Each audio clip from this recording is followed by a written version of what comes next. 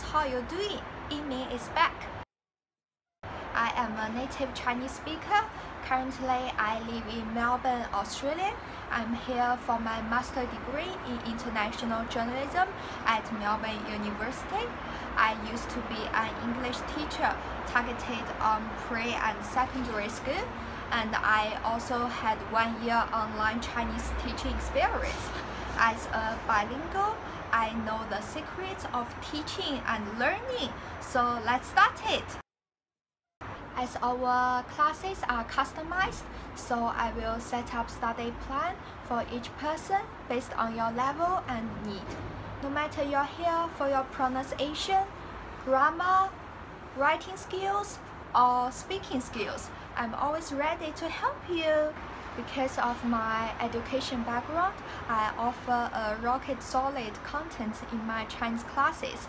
I know a large number of you guys are here for conversation. So in my Chinese classes, the topics vary from politics, Chinese history, art, and to anything that you are interested in. Trust me, after this intensive conversation, your lexical resources will be expanded. Additionally, for me, reading articles and novels loudly in Chinese is beneficial to the process of input and output. So if you are interested in Chinese culture, I would love to select and provide you reading resources. Then we can spend 15 minutes in our classes to read together. After that, I will also try to provide you audiobooks which can be used as after-class reviews. 大家好，我是伊敏，一个喜欢教授中文、期待和你们共同成长的中国女孩。